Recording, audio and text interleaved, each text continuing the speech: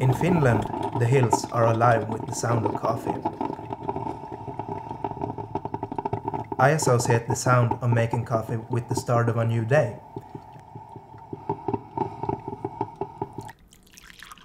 And as many other Finns, I love coffee.